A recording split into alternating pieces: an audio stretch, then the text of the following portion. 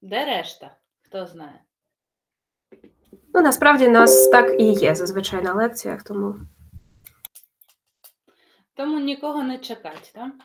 Ладно. Окей, поїхали тоді.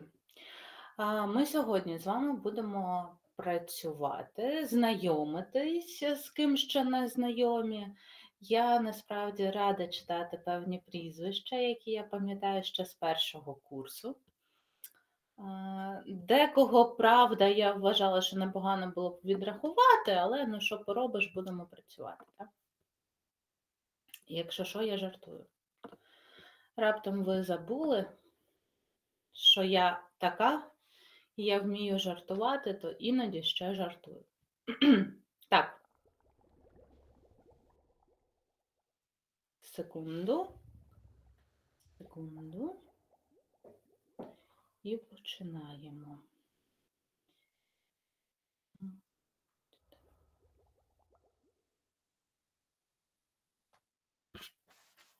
Момент. Момент, момент.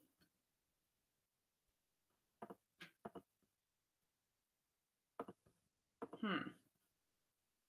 Хм.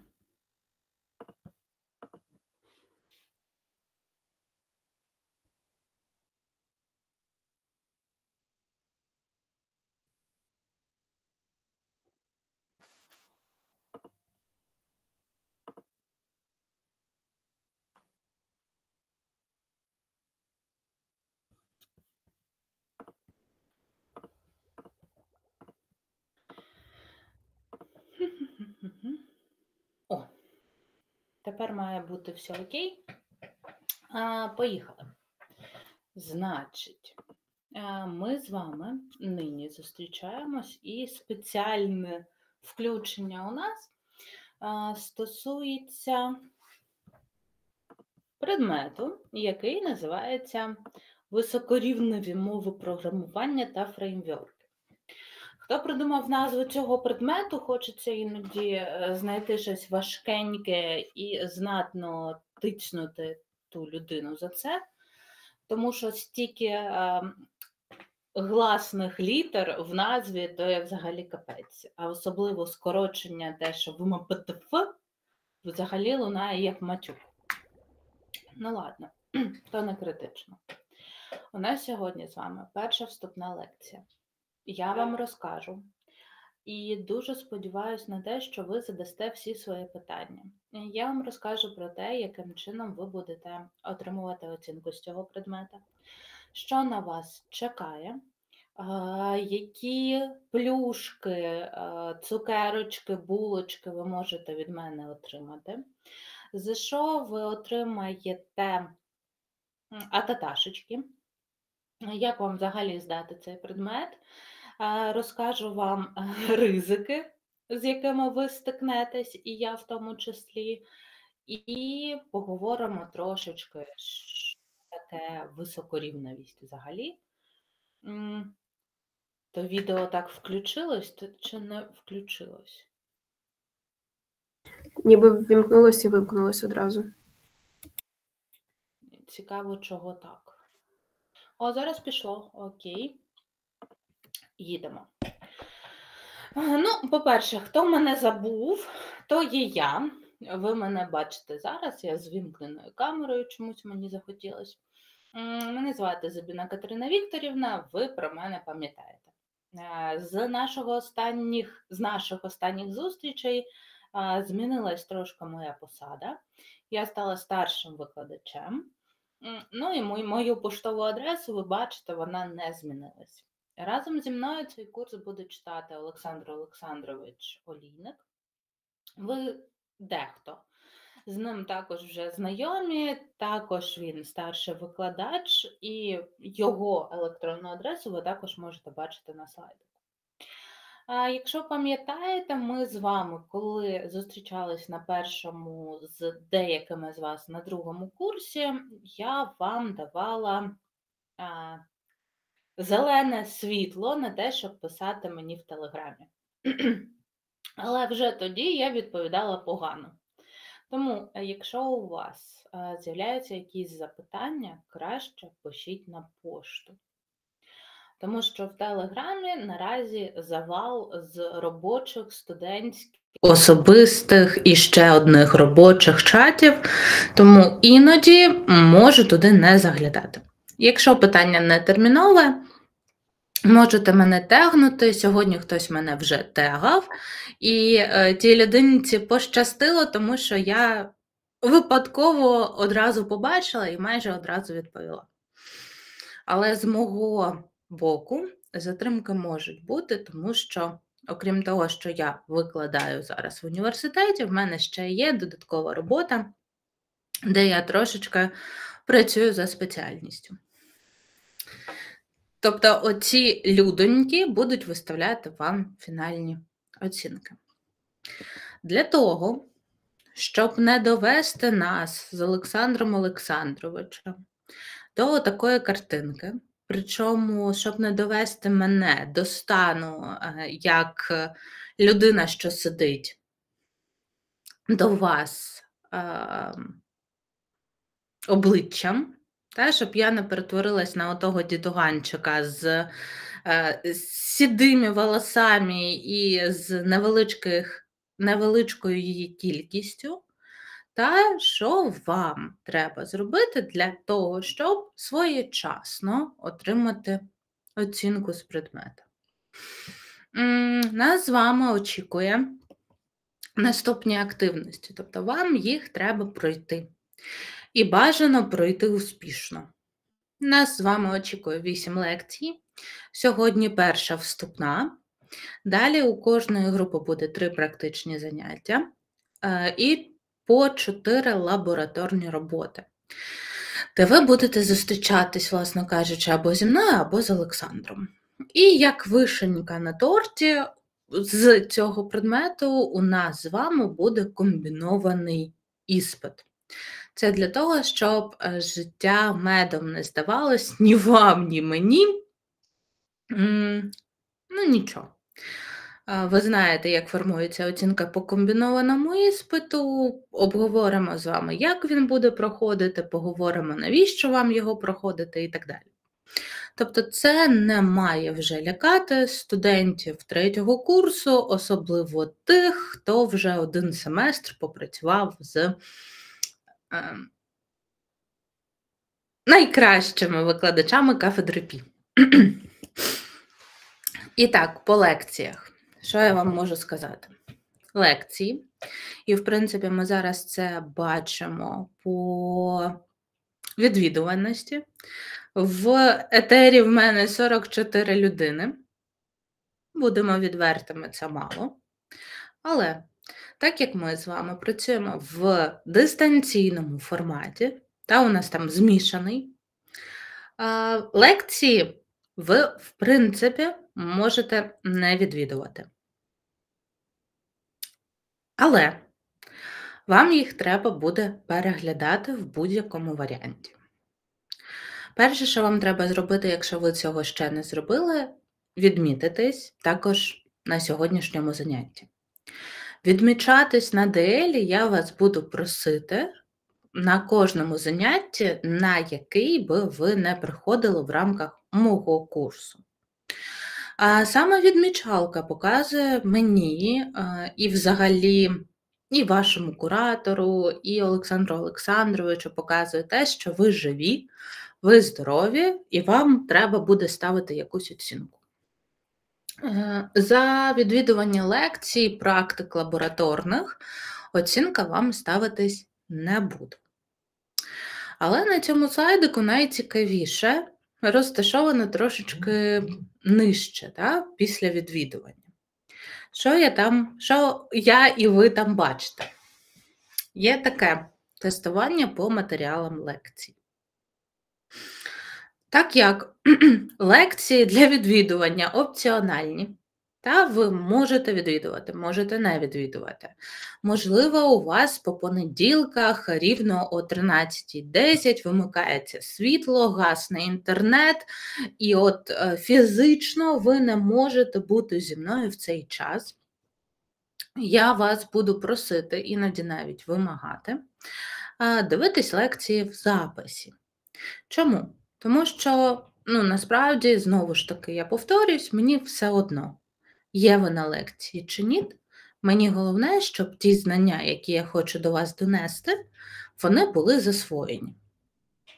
Як я можу це перевірити? Я можу це перевірити, зробивши невеличкий тест. По тестам. А, Тести будуть маленькими, буквально там на 4, максимум 5 хвилин, можливо, навіть менше. Вони будуть обов'язковими. Коли будуть відбуватись тести, я вас буду заздалегідь попереджати. Наприклад, guys, там в через понеділок, в кінці е, лекції на останніх трьох хвилинах я зроблю тест по попереднім лекціям. І тоді ті люди, які не ходять на лекції і не хочуть на них ходити, знають, що в такий час їм треба приєднатись та або до Google Meet, або навіть без Google Meet просто зайти на DL, зайти у відповідний розділ і дати там свої правильні відповіді. Тест, так само, як на ГТГМі було, у вас буде на його проходження одна спроба.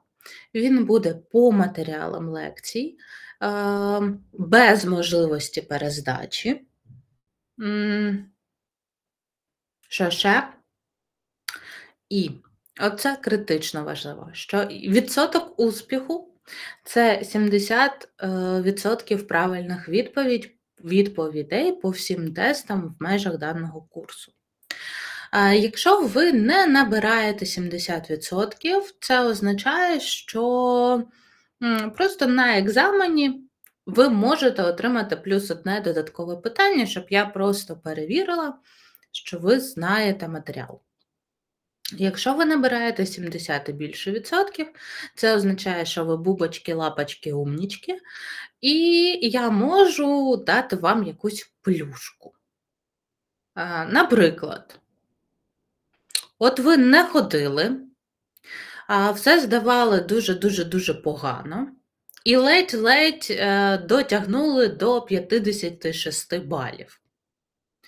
А я дивлюсь, а тести ви проходили, а тести у вас на 100%. І тут ми всі знаємо, як ви могли їх проходити. так? І я така: ой, а як же ж я? Я ж обіцяла, і я тоді тій людині просто не дивлячись 60 балів, значить, ставлю. Це така моя плюшка.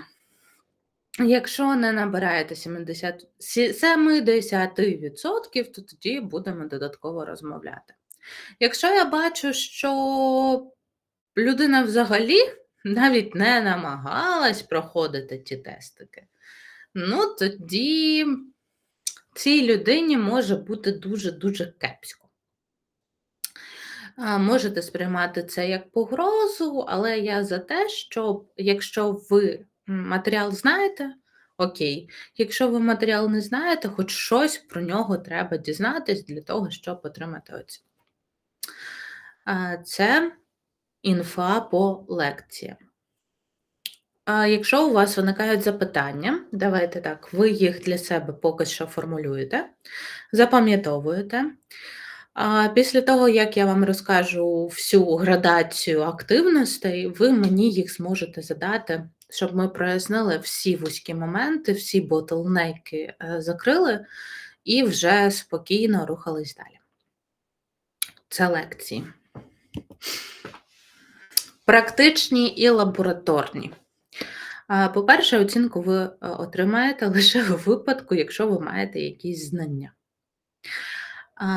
Другий пункт, який вам 100% треба робити, це оформлювати звіти.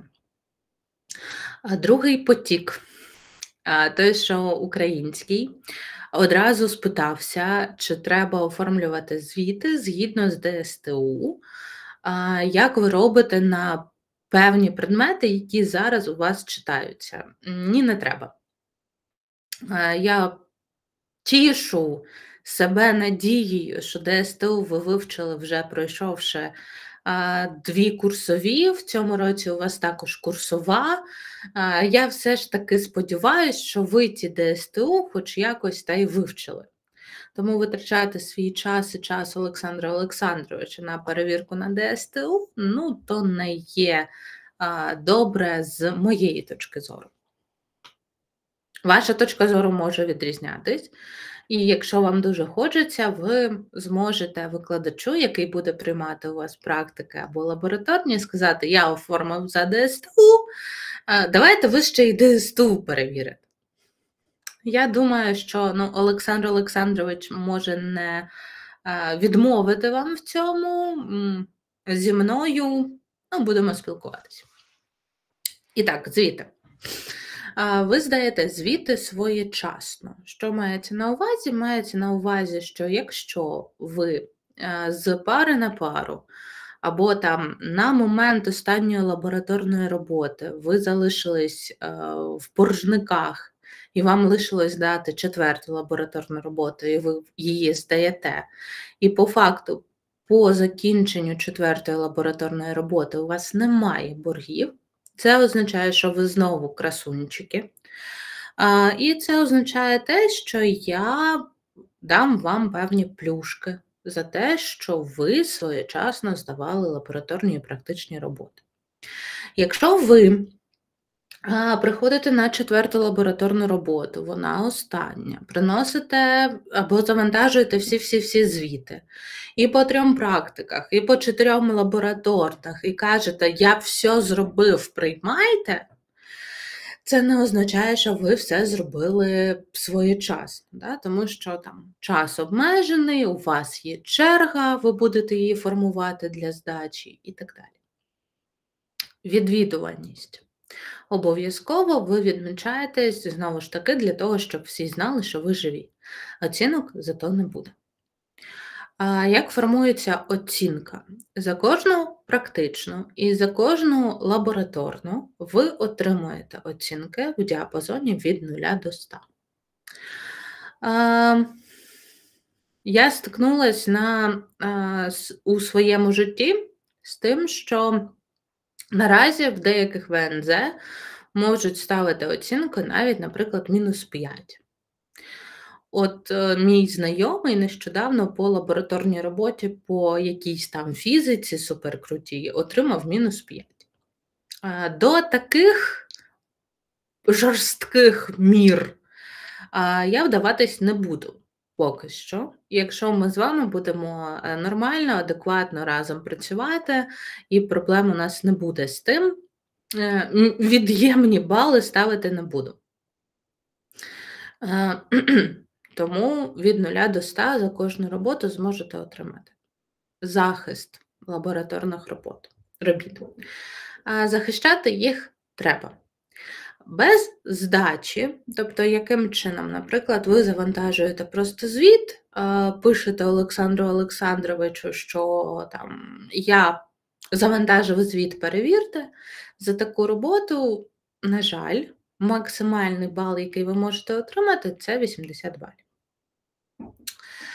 Як ви будете захищати роботу? Ну, в нашій стандартній редакції це коли ви під'єднуєтесь на пару і розказуєте, що ви там зробили, викладач задає питання, і все ж таки ми розуміємо, чи самостійно ви зробили ту роботу, чи в когось скопіпастили, чи просто взяли з інтернету готову штуку і навіть не розібрались, що там взагалі коїться.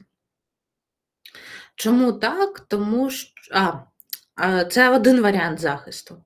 Другий варіант захисту, якщо у вас фізично немає можливості, ну, Ми всі знаємо, що є люди, які там знаходяться в гарячих точках, та, там, де немає можливості там, вийти на зв'язок, навіть на 5 хвилин, щоб захистити лабораторну роботу або практично.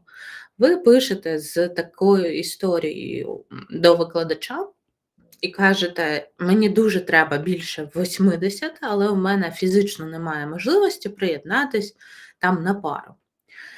І вже з викладачем ви щось придумаєте. Або він, або я дам вам тестування окремо, або дам ще якесь завдання, або ми щось придумаємо для того, щоб перевірити, чи зроблена робота самостійно, чи то реально ваші знання, навички і уміння, чи ви намагаєтесь когось обманути. А Якщо, але знову ж таки, без захисту це опціонально на розгляді того ж Олександра Олександровича. Якщо він бачить, що робота не тягне навіть на 60, то ви змушені будете щось там перероблювати. Отака історія по практичних і лабораторних заняттях. Ще трошки лишилось, і е, я готова буду відповідати на ваші запитання. Оцінка за лабораторні роботи.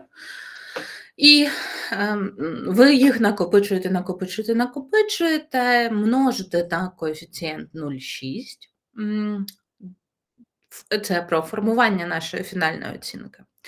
Ви набрали оцінки за лабораторні роботи, множите її на 0,3. Таким чином, ви вже отримали там 90 балів, якщо все здали на максимум. Також, наприклад, е, є певні плюшки від, від лектора. Тобто від мене це аж 10 балів. А під плюшками від лектора ви вже знаєте дві. Одна з них це своєчасна здача всіх активностей. Друга плюшка це тести. Так? Якщо тести здали більше, ніж на 70 балів, також можна отримувати певні додаткові бали особисто від мене. Ця оцінка це оцінка за семестр. У відповідності до комбінованих іспитів ви множите її на 0,6, йдете з абсолютно спокійною душею і совістю, тому що ви отримали якісь знання на іспит. В якості іспиту у нас буде тестування. Одне велике тестування на всіх. Відповідно, за іспит ви отримаєте також певну кількість балів.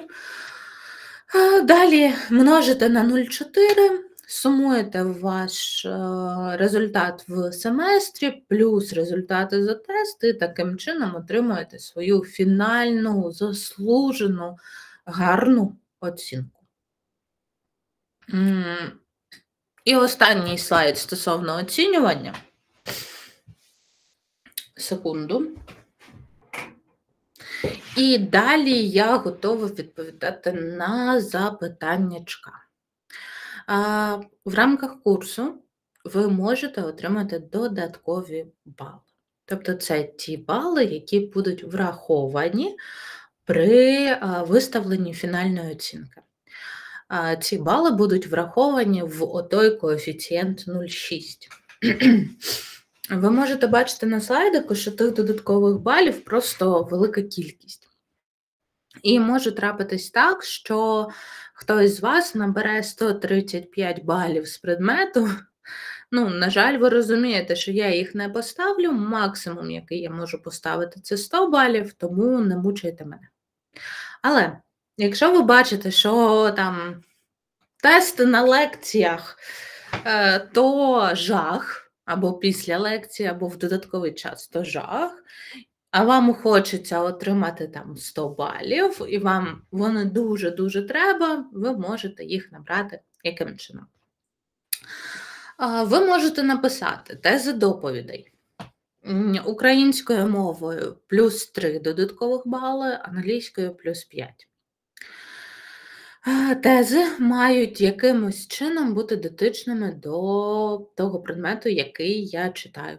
Тобто написати тези по темі, як космічні кораблі а, літають або ходять а, у просторах космосу, не ок, е, не підходить за тематикою. Написання наукової статті.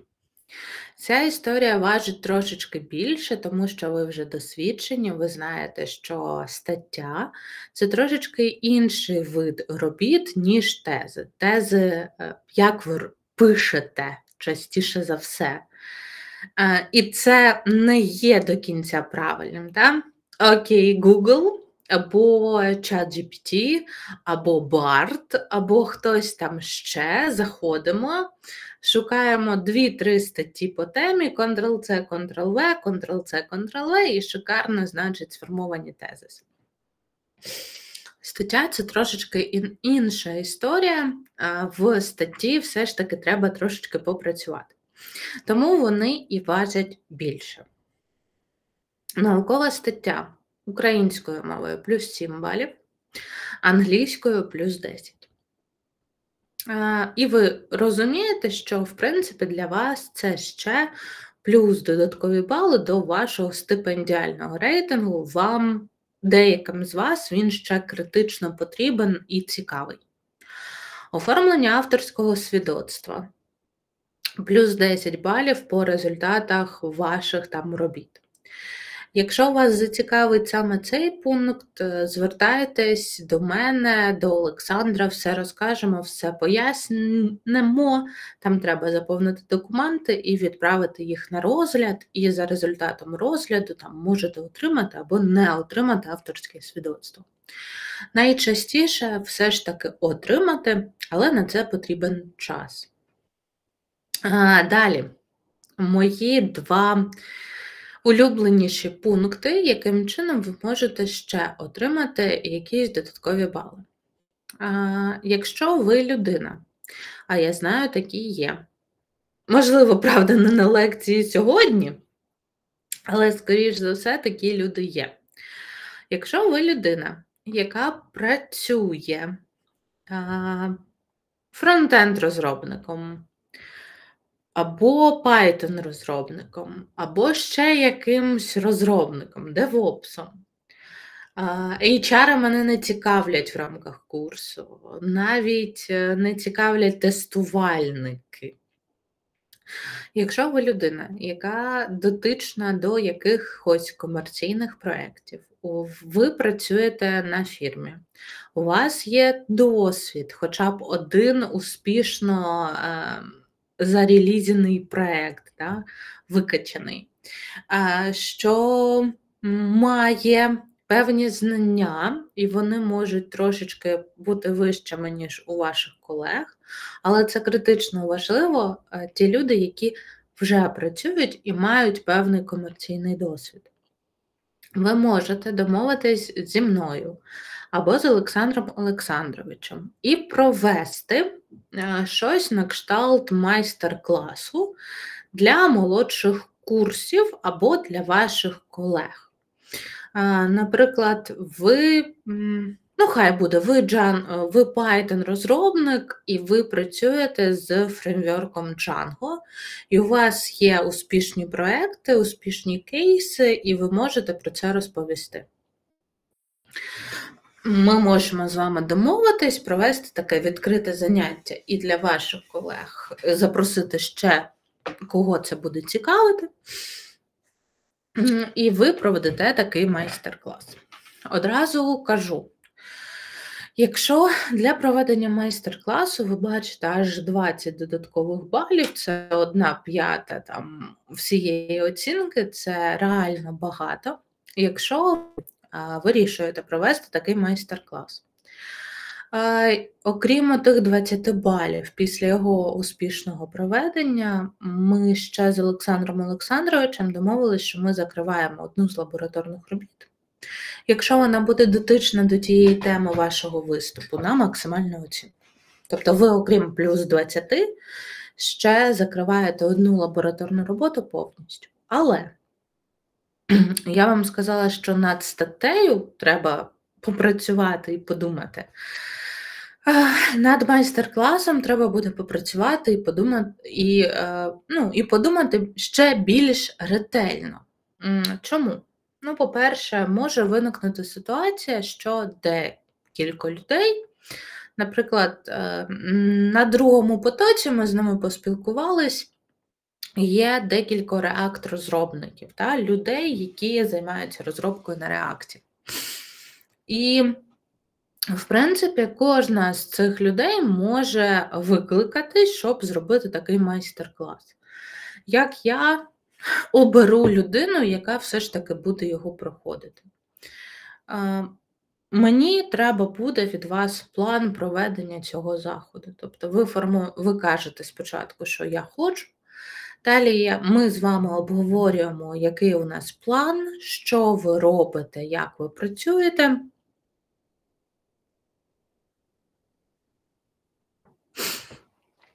Що ви робите, як ви працюєте? Ладно, зараз відволіклась. І далі ви його проводите. Якщо декілька людей забажають проводити, наприклад, по Котліну або Флатеру майстер-клас, ми проведемо з Олександром Олександровичем нараду, ми поспілкуємося стосовно того, чий план кращий, ліпший, що там буде більш цікаво, і оберемо ту людину, який, яка який буде проводити той майстер-клас. Ем, це стосовно цього пункту. І останній пункт вибір соціально важливих тем на лабораторні роботи з оформленням наукової роботи по е, темі цієї лабораторної роботи. Е, щороку проводиться конкурс. Я не знаю, чули ви про нього чи не чули, але періодично він лунає конкурс студентських наукових робіт, і далі пішли галузі наук. Там Комп'ютерні науки, програмна інженерія програмного забезпечення, там системотехніка, штучний інтелект і так далі, і тому подібне. І от, е, якщо ви підписуєтесь на останній пункт, це означає, що в цьому році ми з вами тісно працюємо, взаємодіємо, там щось робимо, а просто в наступному році, десь там у вересні або в жовтні, ми подаємо вашу роботу на конкурс. Тут є логічне питання одразу. Два. Що таке соціально важливі теми? І друге питання так я можу зараз сказати, що я буду приймати в тому участь, а до жовтня е, ще там дістатись і нічого не зробити. Ні. Е, так е, не піде. По-перше, соціально важливі теми. Як вони узгоджуються? Вони їх ви їх також узгоджуєте з а, тією людиною, якій ви плануєте здавати лабораторні або практичні роботи. Тобто, наприклад, ви вважаєте, що моє улюблене, ну давайте так, інтернет-магазин ем, комп'ютерних комплектуючих це соціально важлива тема. Я кажу ніт. І, на жаль, в цьому випадку моє слово буде ключовим. Соціально важливі теми можуть зараз стосуватись щось або здоров'я, або ментального здоров'я, або ще якихось реально соціально корисних е, штук і речей. Тобто, якщо ви хочете принести ем, якийсь, якусь користь суспільству вже, там це може бути будь-що, що ви придумаєте, ми можемо над цим попрацювати. І одразу давайте так натякну, якщо ви всі переживете цей семестр, переживете не в плані е, там, війни, та, переживете в плані того, що вас не відрахують, вас всіх з наступного семестра буде очікувати така захоплююча штука, яка називається бакалаврська дипломна робота. Ні, бакалаврська кваліфікаційна робота, вибачайте. Тобто ви всі будете виходити на дипломування і е, маєте, в принципі, там е, у вересні-жовтні певні студенти вже в серпні, а то і в червні визначаються з керівником дипломної роботи, тобто з цією людиною, яка буде керувати написанням вашого диплому. І насправді буде непогано, якщо щось, що ви зробите в рамках цього курсу, ви зможете в наступному році просто розширити і зробити крутезну а, кваліфікаційну роботу. Тобто, подумайте, можливо, є сенс щось взяти з цього курсу і перенести на наступний навчальний рік. А, Тому потрошечки можете вже визначатись з вашими дипломними керівниками, потрошку можете навіть в межах ВМПТФ визначатись з ймовірними своїми темами над якими вам би хотілося попрацювати. І про додаткові бали розказала. Ви бачите, що їх овер ем, дуже багато. Не можна ж з вами лаятись, це ж не дейліки на роботі інші. Е, їх достатньо багато, ви можете ними користуватись, але одне попередження, ви його бачите. Всі ці активності вони мають бути узгоджені або зі мною, або з Олександром Олександровичем.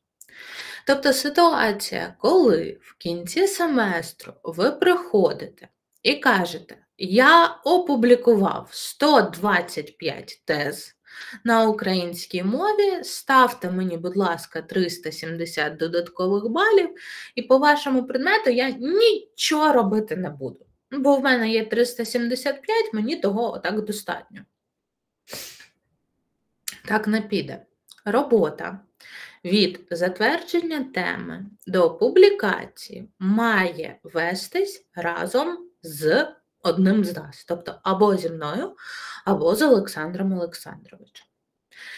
І, мабуть, я вашим колегам не казала, але, мабуть, ми зробимо по додатковим балам все ж таки якийсь дедлайн. Та, Наприклад, що останні роботи такого плану ви можете там, подати на розгляд 31, наприклад, або 30 травня. Для того, щоб, знову ж таки, не було ситуації, коли е, ви там 31 травня бачите, що вам не вистачає 10 балів. І в екстреному порядку, щоб не зв'язуватись зі мною чи з е, Олександром, в екстреному порядку ви знаходите якусь конференцію, подаєте туди якусь ем, відверту маячню, згадала крутезне слово маячню, і знову приходите і кажете: О, в мене є стаття, ставте, а ні. Ну, так, Такого не пройде.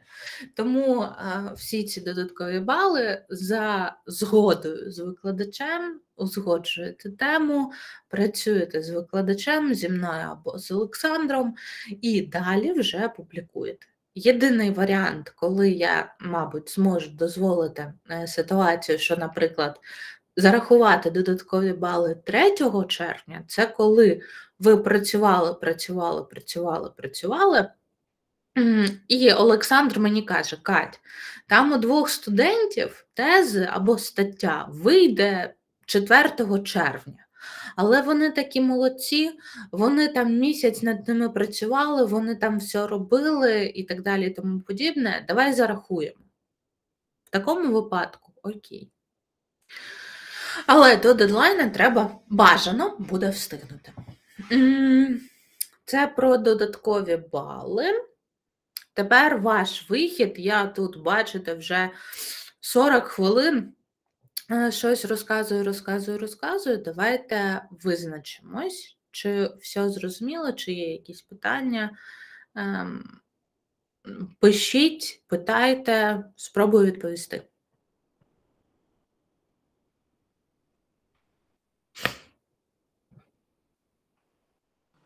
А, Вибачте, а якої довжини має бути майстер-клас приблизно? Півтори-дві годинки. Добре, дякую.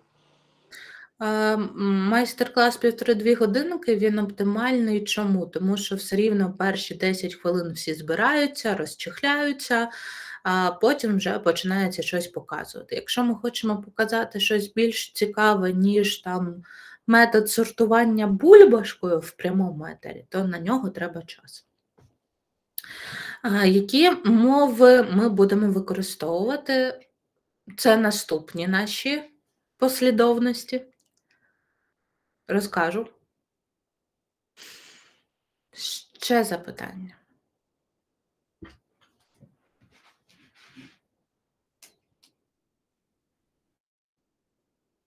Не булькайте, вмикайте мікрофон, кажіть. Підкажіть, будь ласка, сертифікати за проходження курсів з якихось тем за дисципліною, як будуть зараховуватися? Сертифікати зараховуватись не будуть. Я не буду публікувати списки курсів, які треба пройти.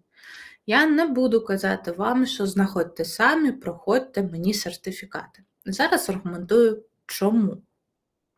Тому що, повертаючись до практики лабораторних, мені е, важливі будуть ваші знання, хоча б трошки, хоча б мінімальні.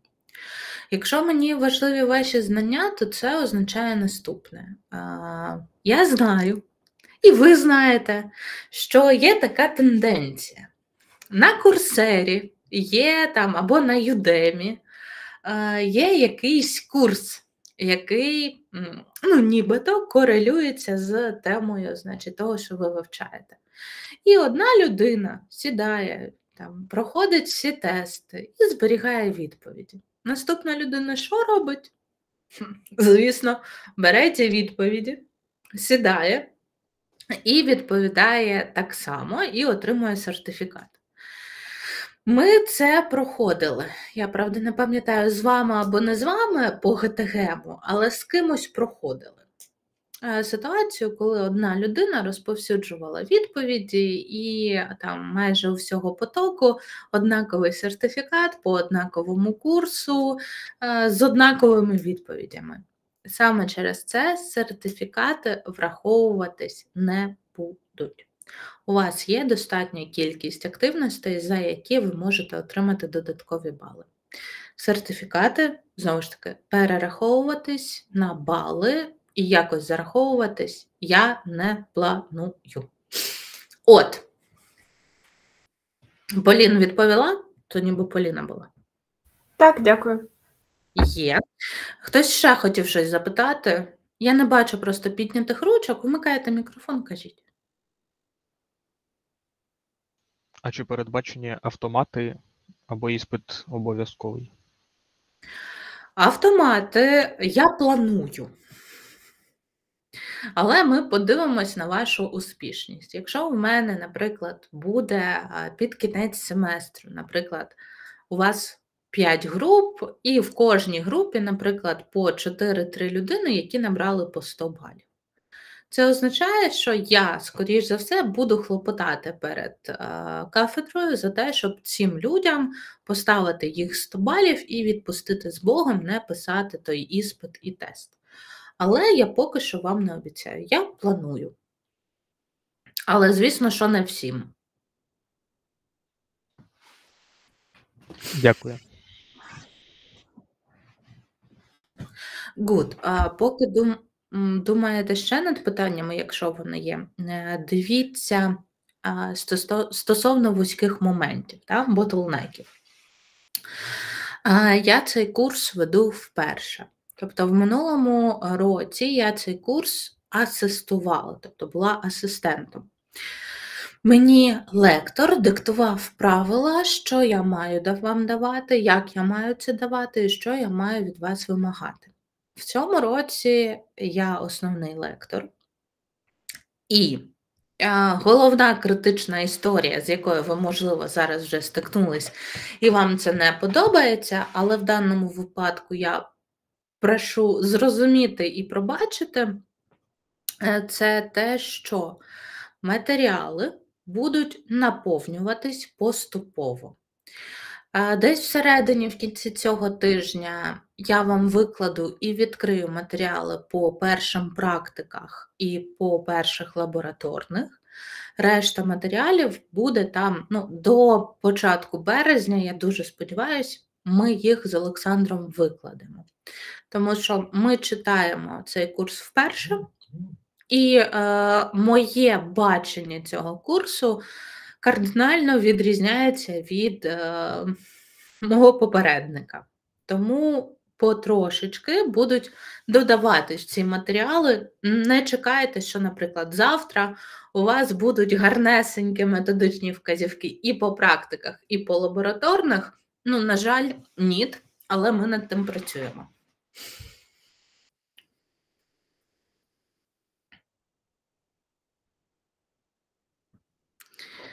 Е, так.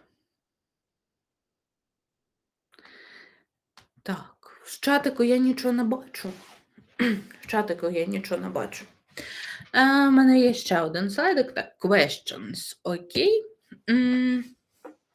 От той слайдик, за який питались в чатику. Що ми будемо вивчати?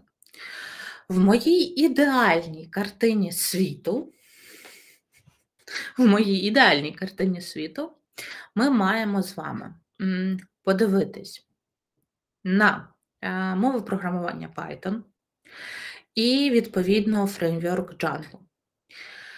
Е, Другий такий невеличкий блок це JavaScript з Node.js, React і Express. Третій блок Android, Kotlin. Можливо, встигнемо подивитись щось по Flutter.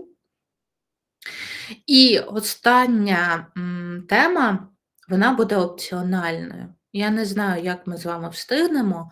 Знову ж таки, в моїй ідеальній картині світу це різні ORM і NoSQL бази даних, які ми якимось чином конектимо до трьох попередніх тем.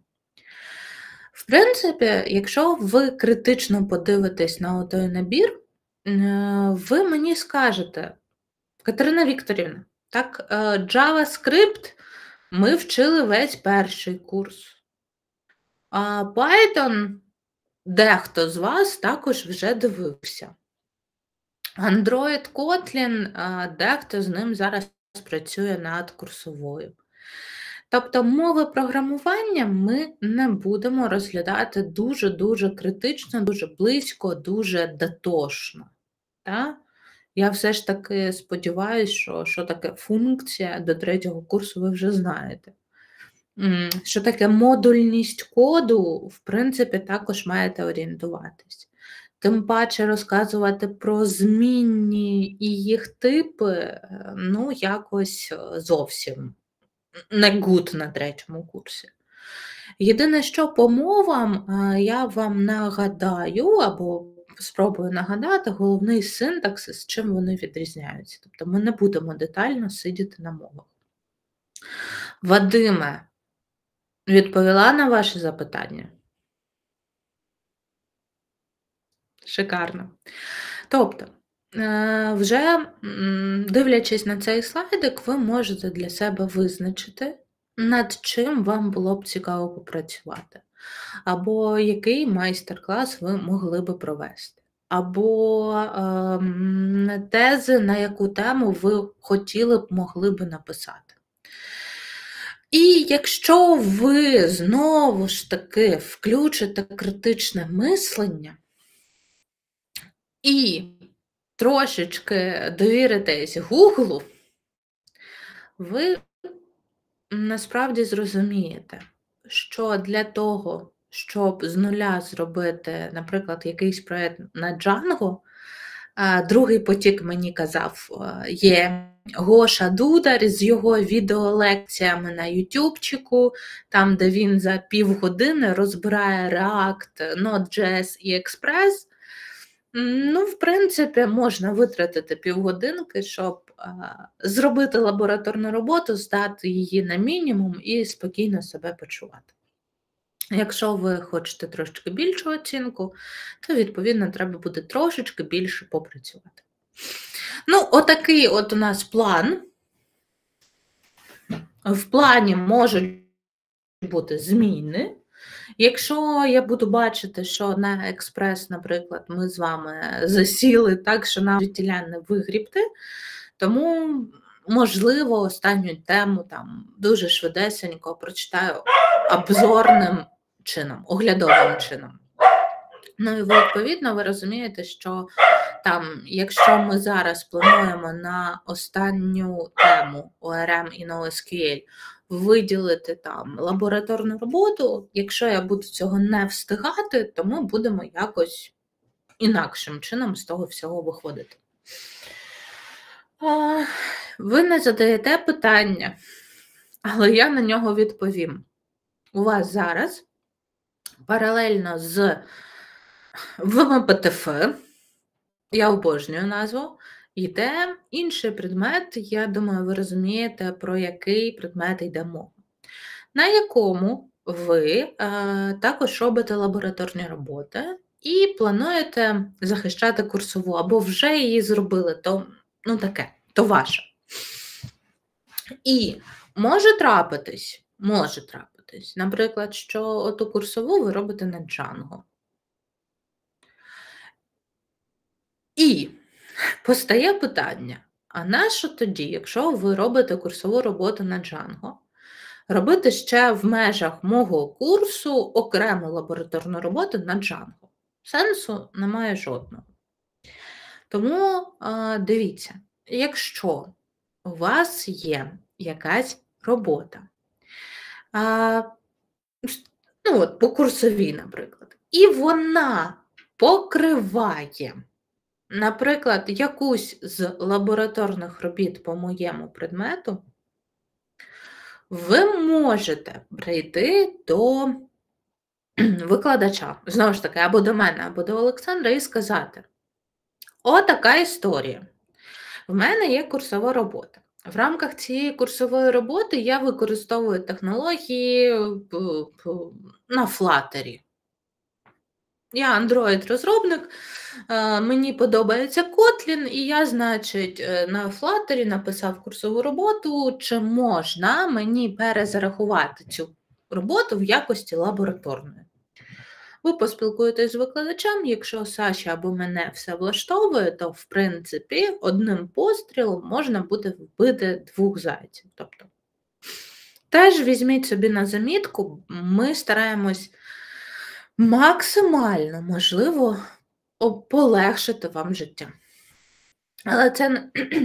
Вибачте, але це не означає, що ви сядете нам на шийку, звісите лап пуськи, і потім будете отак тарабанити. Ні, якщо я побачу, що хтось з вас сідає на шию і намагається там щось робити, там, можливо, навіть е, врати. Ви пам'ятаєте, я не люблю, коли мені брешуть. Мені краще правду, але явно не брехати. Якщо там ем, починаєте нагліти, таке також буває, починаєте якось щось там не те робити, то ну, ми закриємо ці бонусні бали і всі гарні наміри з вами. Тому краще не треба. Е, так, це я сказала. І останнє, да? last but not least, про штучний інтелект. Ну, Ми не будемо з вами зараз гратися в ідеальних людей, які взагалі не користуються штучним інтелектом, які навіть не знають, що таке чат GPT або той самий Барт, і взагалі ніколи, ні за що, в жодному разі, е, взагалі ніяк ніколи. Ми з вами всі дорослі, я розумію, і ви розумієте, що що штучний інтелект е, міцно входить в наше життя, і я не проти, якщо ви будете користуватися штучним інтелектом. Але для мене головне, як було на ГТГМі, так і лишилось на зараз, е, знову ж таки, щоб якщо ви щось берете, або якщо ви щось згенерували, ви маєте в тому розбиратись. На жаль. Може, не на жаль, але ви маєте в тому розібратись. Якщо ви користуєтесь Copilot ом, good, шикарно, взагалі е, немає запитань. Але по коду, який там буде вам підказувати, вам треба буде відповідати. Ось тому Саме через штучний інтелект у вас за роботу без захисту максимум 80 балів. Тобто, це максимум, що я можу поставити за, наприклад, роботу, яка буде згенерована штучним інтелектом, яка буде правильна, але ваших знань там не буде.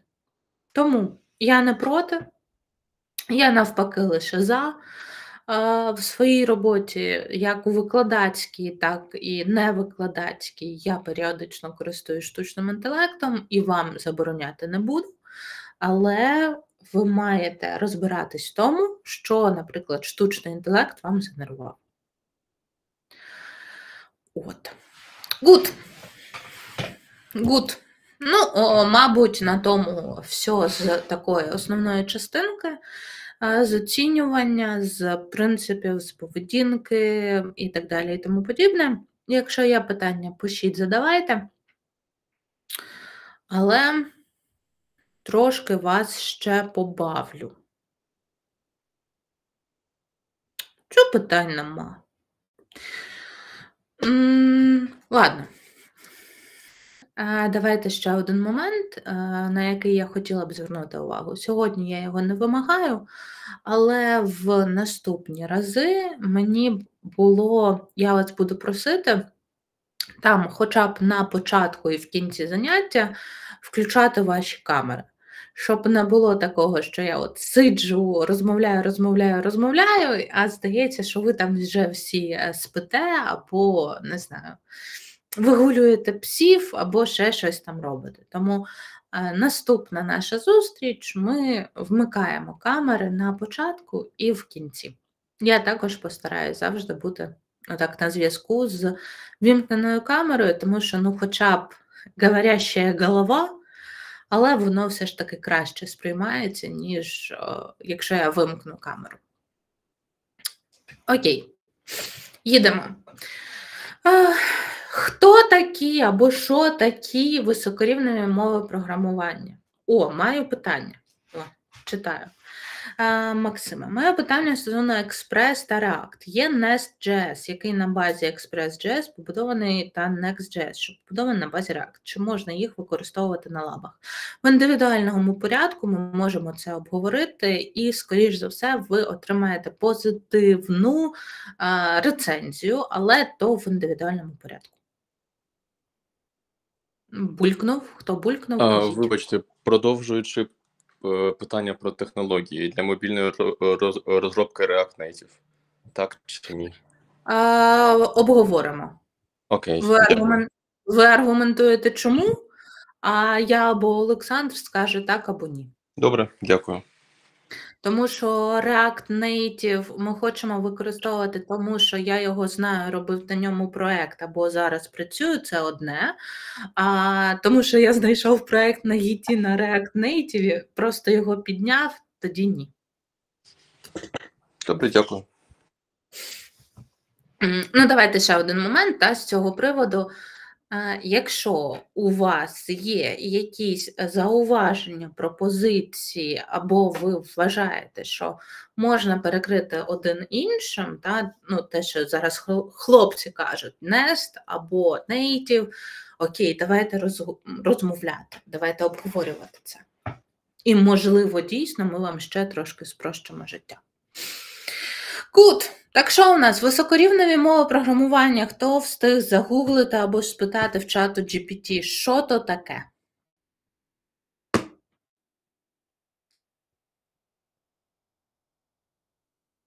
Щось, щоб далі від заліза і ближче до людини. Клас. Абсолютно вірно. Шикарно, Полін. Хтось ще? Мова над мовою. Прошу, прошу, не почула. Мова над мовою. А, мова над мовою. Складно. Ну, але, в принципі, також маємо право на життя визначення.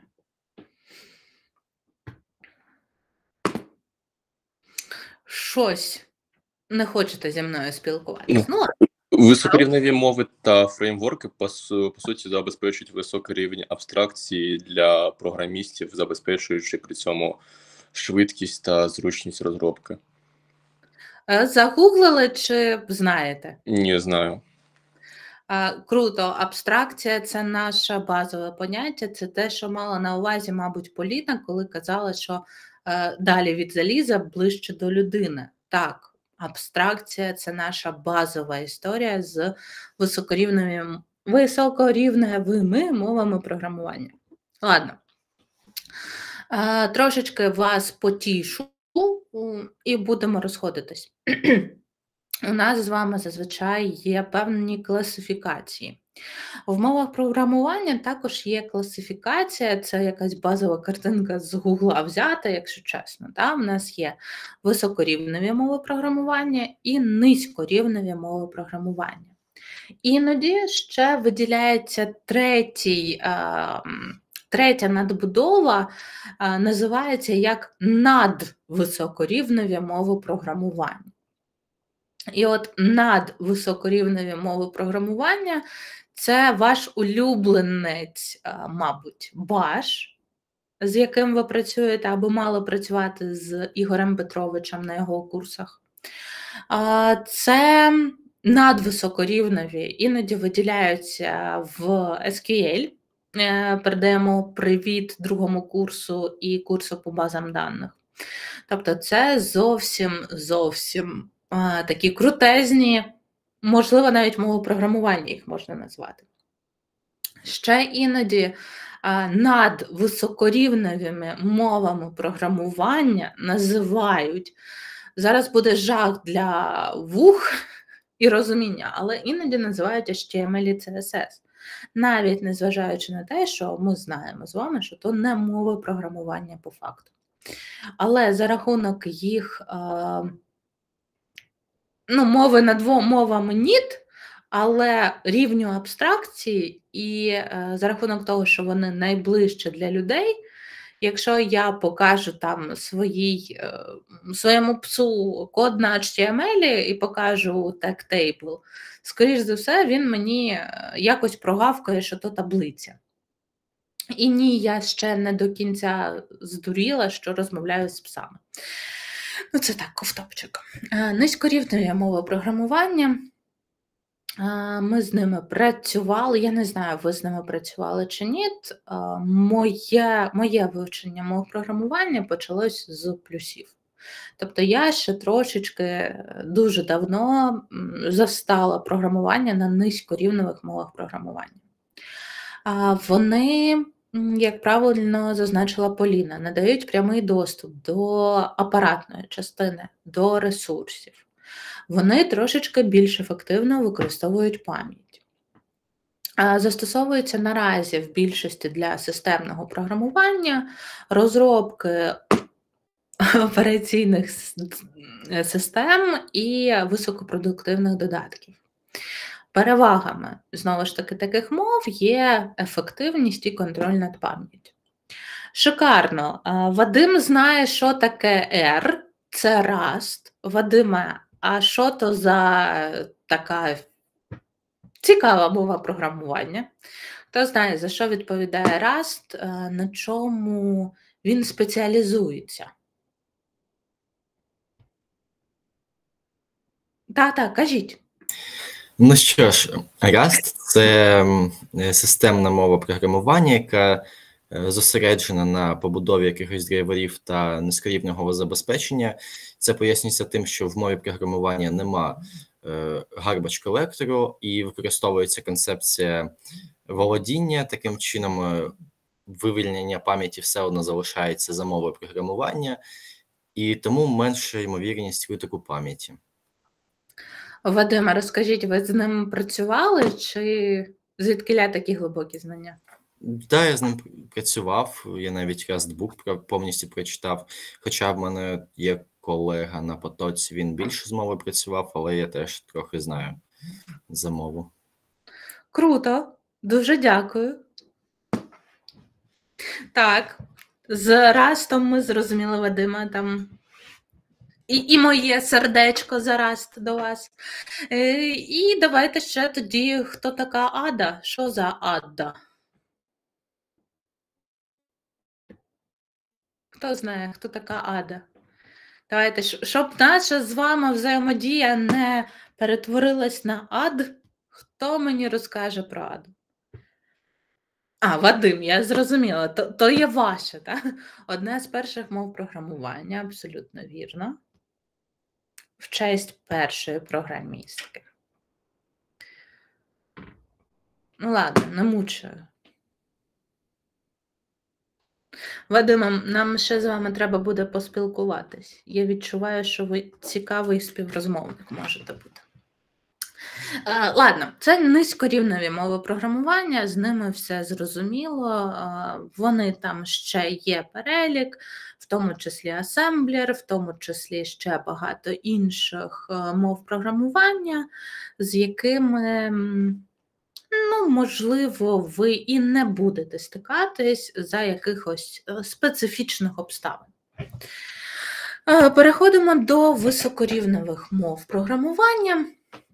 На відміну від низькорівневих, те, про що вже казали, володіють або не дають високий рівень абстракції, за рахунок чого ви з першого погляду на той чи інший код, в принципі, навіть не маючи якихось специфічних знань, ви можете сказати, що робить той чи інший шматочок коду. Наприклад, е, з мінімальним знанням англійської мови можна перекласти і зрозуміти, що там відбувається. Тому, коли студенти на першому курсі не можуть мені розказати, що таке конструкція розгалудження і навіщо потрібен if, мене іноді підкорює розпач, мені дуже-дуже сумно з цього приводу. Такі мови програмування застосовуються насправді зараз будь-де, будь-як для machine learning, штучного інтелекту, для веб-розробки, для інтерактивних додатків і ще мільярд різних застосувань. Перевагами, звісно, це безпосередньо той рівень абстракції, який вони надають, е, виразність і читабельність коду. Наприклад, якщо ми порівняємо, а, ще не порівняємо, до високорівневих мов програмування ми відносимо, та, і це не всі. JavaScript, Kotlin, Go, Java, C-Sharp, Swift, Ruby on Rails і так далі і тому подібне. Тобто те, що ви зараз в більшості своїй вивчаєте в університеті, це відноситься до високорівневих мов програмування. Коли я навчалась, я стартувала з плюсів. Якщо зараз спробувати, можливо, ще щось і напишу, але не факт. Але якщо ми порівнюємо, скажіть мені, будь ласка, хто знає, Вадим, вас поки що попрошу помовчати, тому що здається, що ви знаєте. А, Що робить код з лівого боку? І взагалі на якій мові він написаний? Може... Асемблер. Асемблер. О, а то хто був? Скажіть мені, хто знає, що таке асемблер? Я не встигла. Ладно. А що робить код? Він працює. Не факт. А знаєте чого? Е, Тому що я попросила чат GPT його написати і не перевірила, тому я не знаю, працює він чи ні. Ну, в теорії він щось там е, рухає і додає, бо є операції move і add. Тобто він зберігає кудись змінні і їх сумує. Так, можливо. А якщо ми подивимось в правий бік, що то за мова програмування? Це Python. Це Python. І, в принципі, по print, по команді print ми вже знаємо, що він робить. Та? Він рахує суму елементів списку. Насправді, код справа, який ви бачите на Python, один в один те саме, що робить код на асемблері. Е, Ми також рахуємо суму елементів отих 1, 2, 3, 4, 5, що зазначені в другій стрічці. Але для чого я це тут зробила? Для того, щоб показати, що я також користуюсь штучним інтелектом, по-перше. По-друге, те, що ну, не зовсім good ем, розміщувати десь код, який ти не перевірив, це другий поінт. І третя історія це для того, щоб просто порівняти код, який написаний на асемблері, без якихось додаткових знань. Ну, буде достатньо складно ідентифікувати і зрозуміти, що він робить. Але той самий код на Python, навіть коли ми його бачимо вперше, ми, в принципі, можемо дізнатись просто за рахунок рівня абстракції.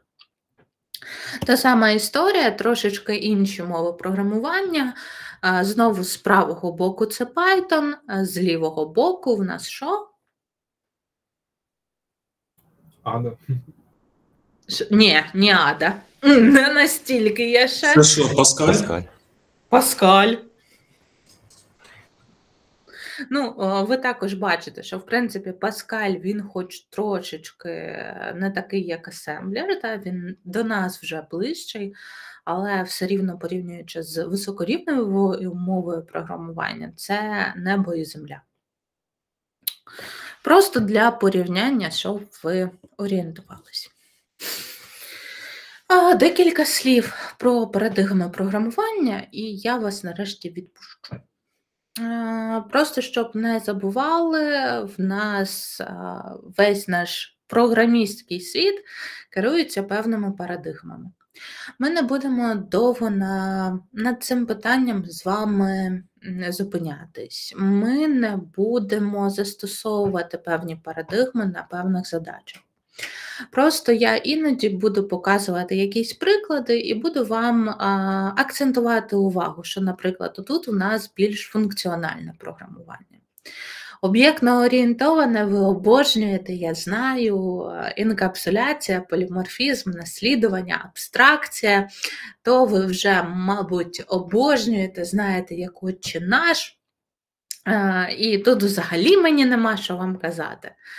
Але в нас ще є імперативне, ви пам'ятаєте про це програмування, декларативне і ще є певне логічне програмування, е, яке оперує формальними законами логіки і правилами виводу.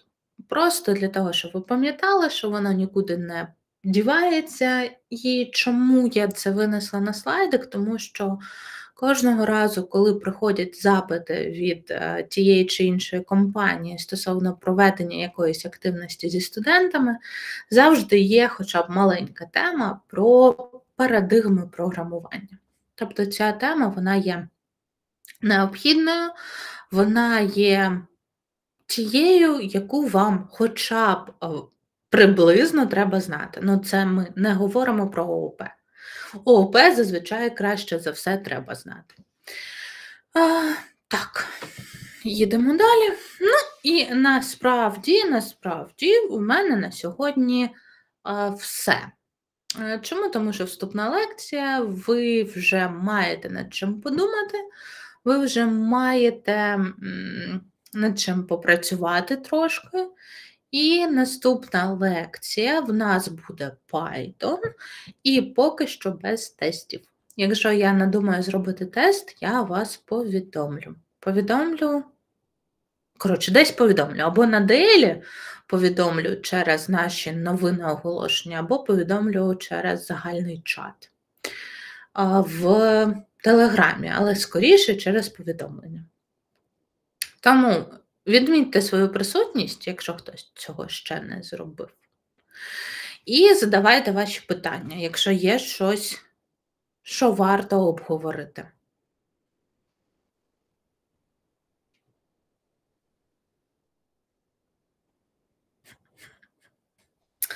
Ладно, я так розумію, що спілкуватись ми з вами будемо е, більш активно на практиках лабораторних. А зараз вже що маємо, то маємо, підводимо підсумки.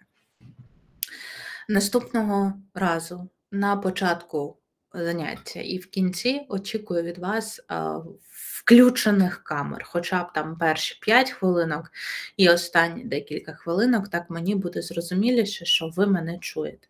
Попереджаю про це одразу для того, щоб ви там встигли встати з ліжка, причесатись і там щось вдягнути не піжамного. Тому це момент, як оцінюється предмет, ви знаєте. Якщо у вас трапляються якісь запитання, проблеми, пишіть пишіть мені, пишіть Олександру, бо виставляти оцінку будемо ми, я буду виставляти оцінку фінальну. Тому, якщо вам щось не подобається, також пишіть. В кінці курсу а, якщо вам щось взагалі не подобається по курсу, теж для себе десь це відмічайте, тому що в кінці наших з вами взаємодій я запущу анкетку, це буде е, важливо особисто для мене, щоб дізнатись е, вашу особисту думку стосовно того, що можна покращити, що можна скіпнути, чого треба було б додати. Тобто, якщо будуть якісь такі моменти, ви також собі десь запам'ятовуйте, я у вас обов'язково про це спитаюся.